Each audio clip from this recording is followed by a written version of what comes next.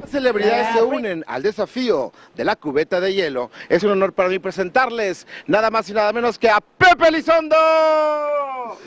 Hola, chava. Oye, ¿qué pasa? A ver, ¿qué pasa por tu mente en estos momentos? Estoy nervioso. Les voy a decir la verdad, yo no me, baño los sábados y, y eso es cuando caen en, en- en fin de mes. pero, pero hoy me tocó, se trata de ayudar y yo con todo gusto. Me retaron, acepto el reto, eh, voy, a, voy a ayudar, hay que ayudar. Invito a todo el mundo a que, a que nos unamos a ayudar.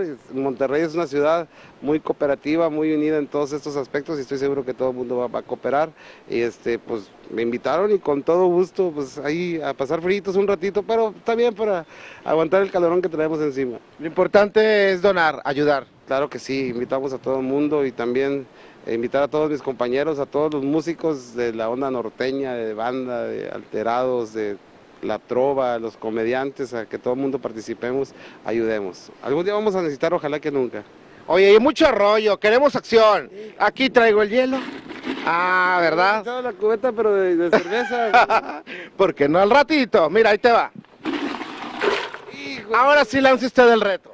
Ahora, le voy a retar a mi compadre La Parca y reto a Julio, a Julio, a Julio también de pesado también a que venga a echarse el- la cubeta de hielo. Y a todo el mundo a cooperar. Yo voy a cooperar también y invito a que todo el mundo lo haga. ¡Adelante! Ya. Así se cumple. Eso es tener palabra. Ay, pues, sí estaba bien helada. No, gracias. Eh, cumplan con su reto como yo.